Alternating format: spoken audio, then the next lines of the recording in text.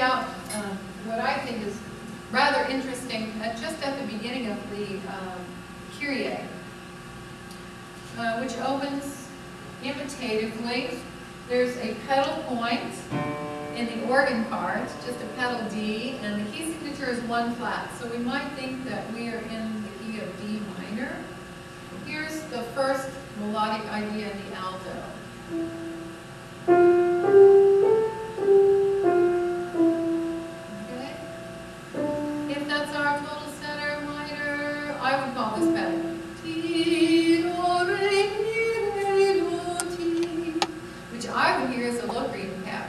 And what did the bassist answer that with?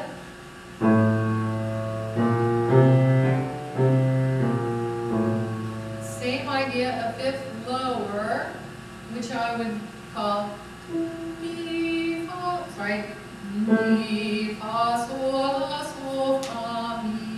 that step, that's a Phrygian pattern to my ears.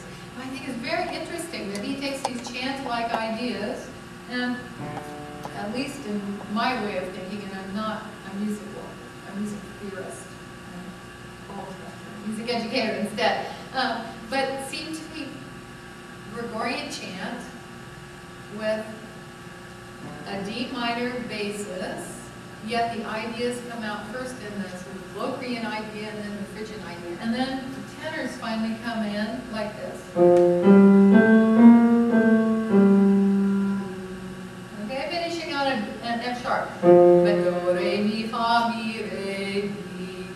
Okay? So it's like the light comes on when the tenors come on, because we have these melancholy half-step patterns, you know, the, the Phrygian and the almost Locrian like, and then the tenors finally coming in um, in major.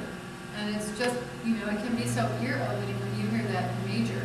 Now, when you turn the page and you go into the Christe, Kodály has a wonderful idea here.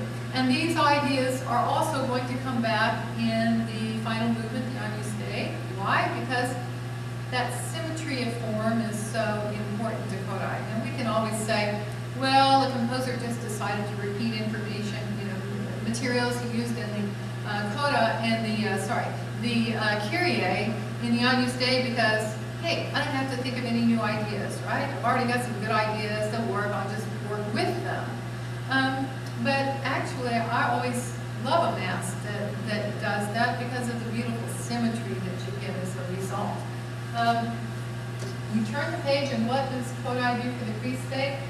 He has what I call three angels, but it's really three soprano soloists, the top one of which has to go up to high C, has them do the Christe eleison.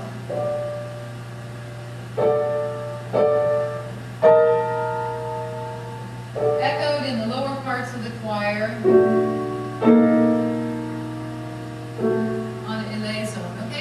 and it's almost you have these three angels who are praying for you, and then the choir comes in, you know, please have mercy, with this little tinge of tritone in there so that you get a little bit of pull. And then the sopranos go on once again. And finally, the altos do some interesting uh, melodic material which works in contrary motion to what the three soprano, soprano soloists are doing. It's just a very, very beautiful passage that then the whole movement ends again with material from the opening Kyrie. Now, if we look at uh, my favorite, well, I can't say I have a favorite movement because I, I love it all, but the Creed um, has one of the most stunning settings of the Et Incarnatus Est that I believe was ever, ever composed. It's not long, it's just stunningly beautiful. The crucifixus then that follows, he brings the tenors in on a very high note, uh, fortissimo, and it just creates uh, a marvelous effect. Uh, we'll listen to the beginning of the Creed, and I hope we have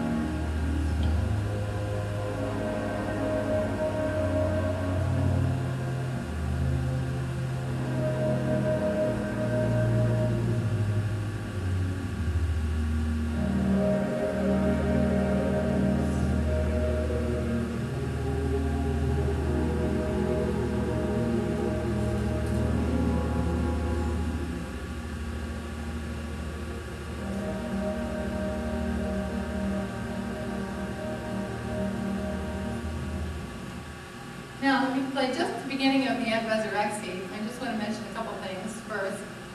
I've decided that this opening in the organ is the stone being rolled away. Hear this? You know? So I don't know if that would help you to think about that, but that's in the organ part. And then the melody that the choir has in unison, first in the soprano and the tenor part, is actually in mixolydian mode. So, so Kodály is really running the gamuts throughout this mass in terms of uh, scale possibilities.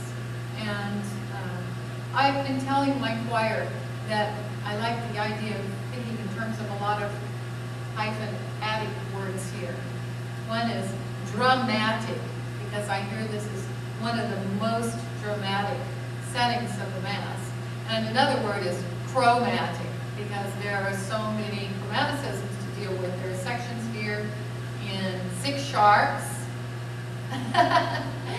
and uh, one of the uh, little uh, harmonic tests for the choir is for the uh, Benedictus to finish. And by the way, the Benedictus is all choir. Normally a Benedictus would be solos, but it's all choir. It finishes in the soprano and alto with an F sharp and an A sharp. And then the basses get to start the Agnus Dei on a low A. Very interesting tonal shift there.